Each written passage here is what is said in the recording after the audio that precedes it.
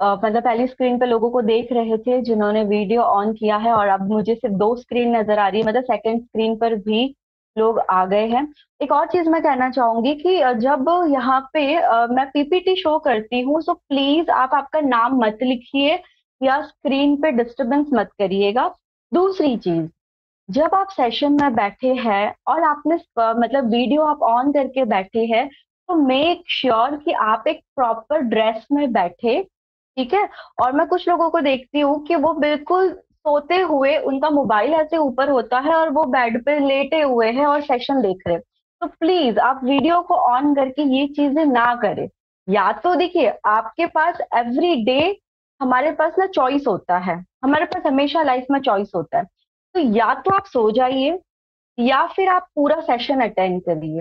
लेकिन आप सोचेंगे, एक पैर मैं सेशन में रखू, एक पैर मैं बेड पे सोते सोते मतलब वीडियो ऑन करके सेशन अटेंड करूँ तो प्लीज़ ये चीज़ आप मत करिए। क्योंकि ये यहाँ पे स्क्रीन पे इतने सारे लोग बैठे होते हैं, ठीक है ऑल ओवर इंडिया से लोग बैठे हुए हैं तो कोई भी आप ऐसी एक्टिविटी या एक्शन ना करे कि जो दूसरों के ऊपर एक नेगेटिव इम्पैक्ट डाले। तो एवरी डे ट्राई ये करिए, करे कि हम लोगों को मोटिवेट करें लोगों को इंस्पायर करे कि अगर हम लिख रहे हैं तो आपको देख के दूसरों को भी ये चीज़ होती है इंस्पिरेशन मिलता है कि नहीं, हमें भी लिखना है, जो भी बातें बताई गई है, उसको सिर्फ़ और सिर्फ़ सुनना नहीं है, उसे लिखेंगे, हमारे पास नोट्स बनेंगे, हम उसको रिवाइज कर सकते हैं और उसके बाद हम उसको इम्प्लीमेंट कर सकते हैं। तो हर हर एक्शन ऐसा करे जो किसी को इंस्पायर करे, ना कि किसी को नेगेटिव करे और ना ही किसी को डिमोटिवेट करे। ओके एग्री करते हैं? तो दोनों थम शो करिए।